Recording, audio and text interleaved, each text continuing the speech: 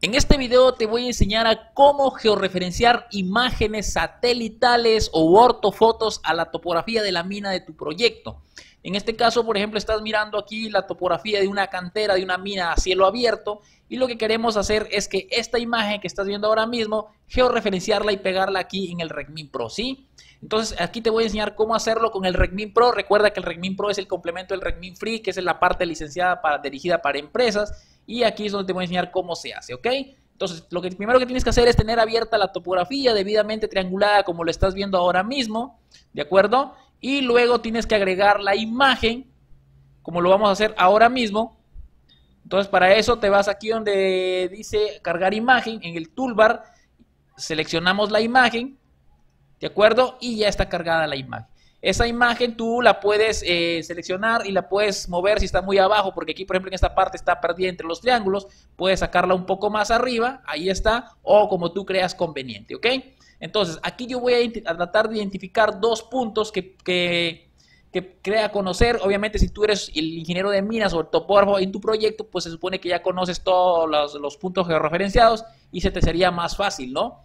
Muy bien, entonces en este caso voy a buscar o identificar dos puntos que pueda coincidir para poder georreferenciar la imagen.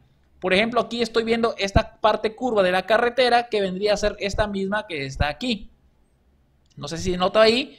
Y por ejemplo, en la parte de acá tengo este que está aquí, este terraplén. Y creo que sería este que estás mirando ahora mismo. ¿Ok? Entonces vamos a tratar de hacer la coincidencia allí.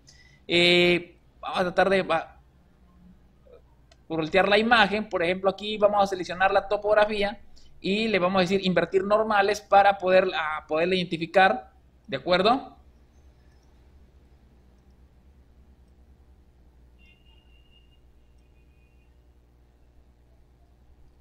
Por ejemplo, ahí está, ¿no? Se ve prácticamente que está, eh, a veces cuando tú inviertes normal, los triángulos se ven al contrario, ¿sí? Y eh, aquí se ve muchísimo mejor, ¿de acuerdo? Muy bien. Entonces, lo que vamos aquí es utilizar el zoom.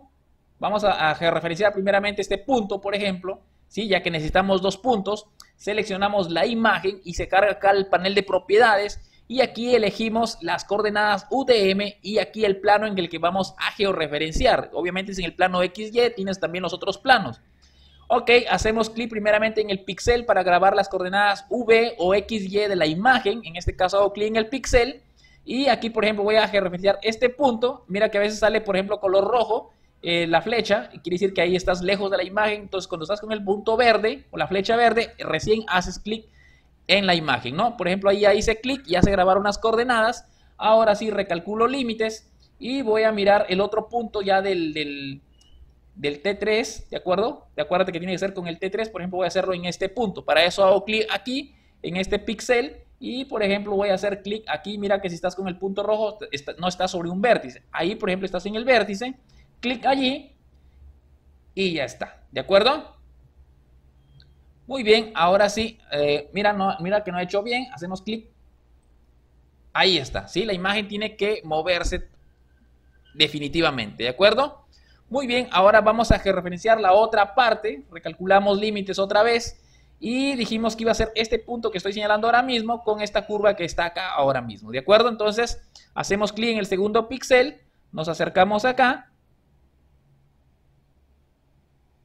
hacemos clic, ya está, ahora sí vamos por el siguiente punto, que es el punto del T3, y por ejemplo vamos a seleccionar ahí, ¿de acuerdo? Ahí está. Entonces vamos a mirarlo en 3D, obviamente se tiene que ir ajustando esto mucho más, Ahí está, al parecer ya está coincidiendo, ¿no? Mira, trata de ver que ahí está coincidiendo. Entonces, en este caso yo he tenido suerte que prácticamente coincidió la primera. A veces hay que mover, si es que algún punto no te convence y quieres mover un poco más, pues puedes utilizar eh, nuevamente otra vez el, el pixel para poder hacerlo coincidir, hasta que coincida, ¿no? Muy bien, ahí está. Entonces lo que vamos a hacer ahora es ya pegar la imagen con el T3. Eso es muy fácil, simplemente seleccionas la imagen otra vez clic derecho y dice aquí proyectar imagen raster sobre malla. Hacemos clic allí, seleccionamos la malla. Acuérdate cuando sale la flecha verde, estás para seleccionar, clic allí y listo, ya estaría.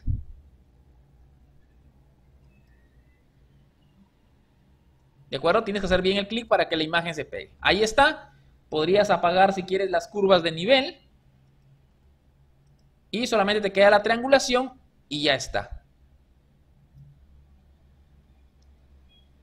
¿De acuerdo? Entonces, de esa manera se pega una imagen a la topografía. Obviamente que si esto fuera una ortofoto o una imagen o una fotografía aérea con bastante o buena resolución, esto se vería muchísimo, muchísimo mejor. ¿De acuerdo? Una vez que ya está, entonces procedes a guardar y ya está. ¿Correcto? Le das un nombre. Vamos a ponerle aquí...